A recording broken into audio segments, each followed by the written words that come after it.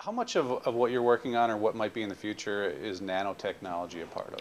We don't work on nanotechnology per se, but okay. there are certainly very respected scientists working in the area of what's often called molecular manufacturing, the creation of things that are a bit like enzymes or bigger machines in the body, but which are not made out of proteins the way the body naturally is. Instead, mm-hmm. they're made out of hardware, really, you know, out of mm-hmm. non-biological material.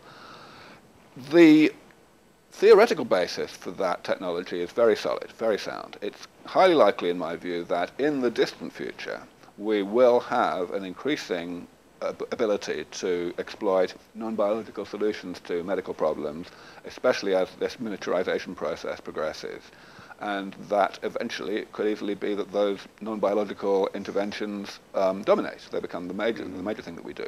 But I do think that we're a lot further off from having any of that inter those interventions really working than we are from the straightforward biotechnological approach that SENS Research Foundation is following. Okay. Now, I should say that the miniaturization aspect is a key there, because of course there are non-biological solutions to medical problems that are macroscopic, that are already in place, and indeed are improving all the time. Obviously, we've had glasses for a long time, that's an example. Mm. We've also had cochlear implants, which are really um, the way to treat certain types of deafness, and those are getting better all the time, so much so that people are now talking about cochlear implants actually giving people better hearing than normal. Mm-hmm. Um, of course, we've got artificial hearts, we've got you know all manner of different things. So I d- definitely I'm not in any way dismissing the non-biological component of medical research. Mm-hmm. Can you explain the nanotechnology a little bit, though, and what the theories behind behind that is?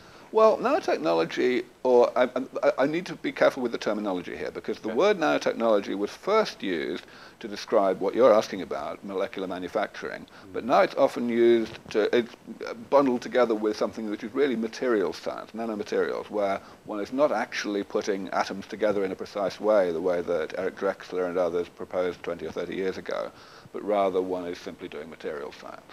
Um, so molecular manufacturing is all about precisely positioning atoms in a form that makes not just a simple crystal structure like a diamond, for example, but a structure that's been designed. So, in other words, can, you can make actual machines of the sort that we would have today with gears and such like, but at the absolutely tiny scale, at the scale of nanometers.